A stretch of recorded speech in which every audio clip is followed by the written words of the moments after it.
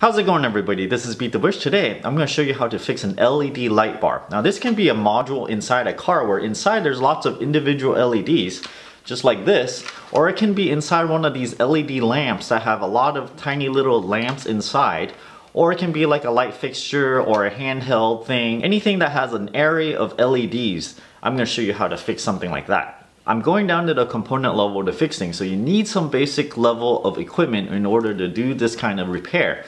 For example, you need a multimeter and it doesn't have to be an expensive one. Sometimes they sell things like $10 and those would work just fine.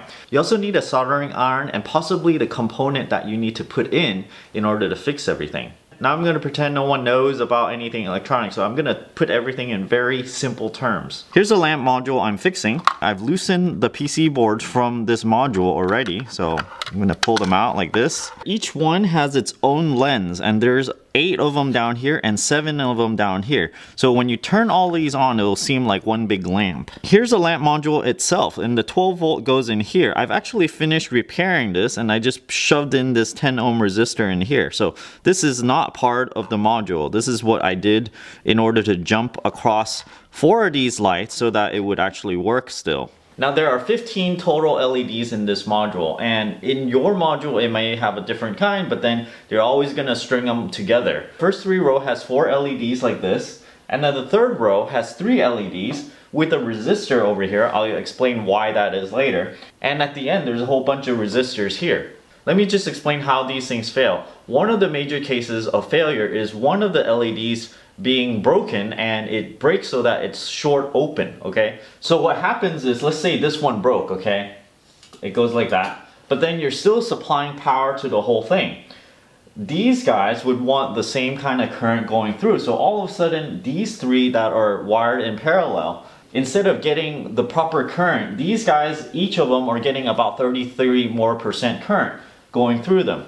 Therefore, once it gets more current going through, it's kind of being overdriven and so it's getting stressed more. So eventually one of them breaks and the rest gets a little bit more juice flowing through them because this is in one long chain. And these guys eventually will fail um, much faster because of the extra current going through them. And maybe after a while, another one goes off and all of a sudden these are driven twice as hard and so these would go out pretty soon after um, this guy goes out. In order to debug this, all you have to do is take the module out, put a 9 volt battery across, and then measure across each LED and see how much voltage there is across them. If there's a really large voltage, it means it's shorted open. If you measure across these guys, it might be like 1 volt or something. 1 volt across this, 1 volt across this, and then when you go to measure the, the set that is broken, it's gonna show maybe like five volts or something. So it'll let you know that it, that is shorted open. So let's say you got a bunch of LEDs that are broken and so maybe you want to source some parts. That might be difficult because you have to find the exact part to put back in and if you don't know much about electronics that might be a little hard. So what you can do is just kind of short across them you don't want to use just a piece of wire because that's going to cause the rest of them to be overdriven too hard. What you can do is replace those LEDs with a resistor just so that you can jump across them but still supply the same amount of current. So, sort of like what they did over here. So instead of having four LEDs over here, they had three. But then they don't want to overdrive these, so then they just put another resistor here. So some of the current will flow through this resistor. You see there's four resistors here, and you may wonder, how come they don't just combine them to make one resistor because there will be less parts? The thing is, these resistors has a certain wattage, and driving all these LEDs takes a lot of current. They have multiple resistors here in order to meet the wattage requirement, so it kind of disperses the heat a little bit better. Let me cover diodes really briefly because it will help you understand what's going on here. You have a diode here, but it's not the LED kind. It doesn't emit light. They may have put this in just so that when you reverse the voltage, it won't completely sh shoot out in case the LEDs are broken short. So if these LEDs are broken and somehow they short together instead, you it, and if you reverse this whole thing, you might get overcurrent and blow some fuses in your car. Regular diodes and the LED diodes operate roughly in the same way. When you put a current into them, they like to go to a certain voltage very quickly. This is a typical diode curve. I'm not going to explain every little thing, but the current is here, the voltage is here. You can see that if you increase the current a tiny little bit, just like a little bit right here, it tends to want to go to a certain voltage. So this voltage is whatever the voltage is for these LEDs. And by the way, different LEDs have different voltages. So different color ones have different inherent voltage they like to be at.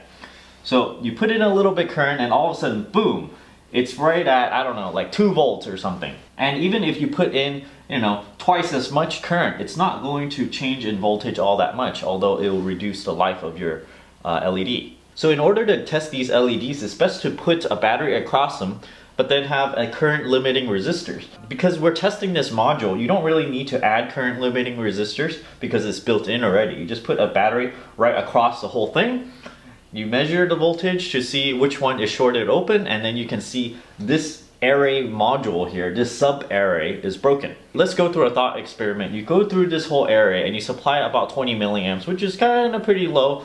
LEDs, you generally drive it, you know, 20 to 100 milliamp or more depending on the type. But I would normally start with 20 milliamps for each LED. I see the four of them here, so I'm gonna put like 80 through. Let's say this is fixed already and we put 20 milliamps through. So very quickly, across these LEDs, it's gonna come over here and it's gonna de develop a voltage uh, very close to its inherent voltage, let's say 2 volts, okay? As soon as you put some sort of current, these guys will kind of lock at 2 volts, okay? 2 volt, 2 volt, 2 volt, 2 volt. So basically, no matter what current you put through there, these guys are gonna stick around the same voltage. So you can go 2, 2, 2, 2, 2.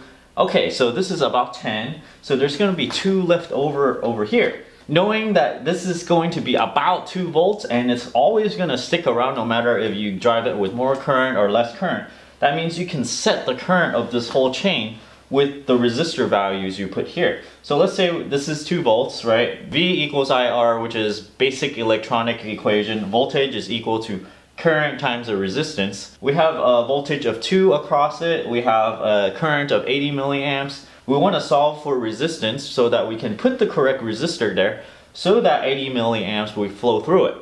That means we need an R of 25 ohms. Now the actual resistance here is slightly different because of the different voltage drops because I just made the math a little simpler. But you get the point. These are current setting resistors. And so if you have an array of these LEDs in a lamp module or a car lamp module, you can actually jump across it, but you cannot short it. You need to put a resistor there of the correct value.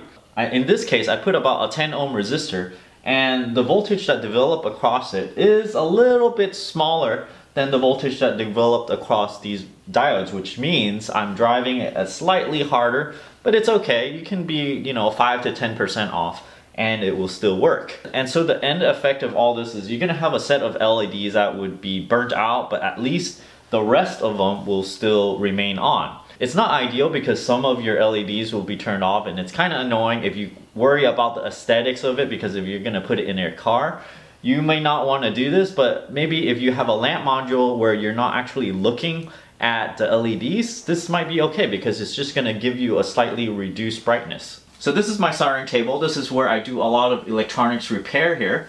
You can see I have a multimeter here. I have a bench power supply, fume extractor here that's sort of jerry-rigged with a hanger.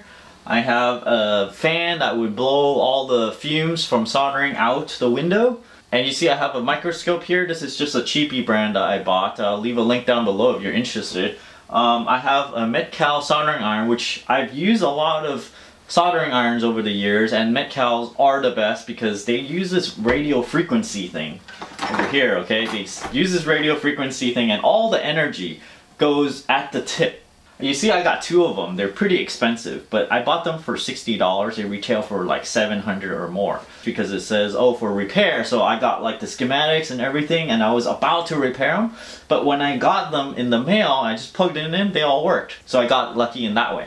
Anyway, here are the LED modules here and I've connected to the 12 volt power supply and you see if I turn up the current over here it goes roughly to 180 milliamps and you can see here only 11 of them are lit up because I had to jumper across these LEDs are completely shot and the important thing to know here is I can increase the current on this power supply and it's not gonna increase the current really. It just wants 180 milliamps right now. So here I put it back in the module. You see some of them aren't lit up. It's not ideal, but hey, at least it lights up a little bit. So I actually did try to find one of these modules and I took, you know, maybe half an hour, one hour trying to look for one of these and I couldn't find it. That's why I'm repairing this one because having it lit at least three quarter of the way is better than none. So I hope this gives you your LED lamp module a little bit more life. Don't forget to give me a like over here. Comment down below, let me know if this helps you, and subscribe. Thanks for watching.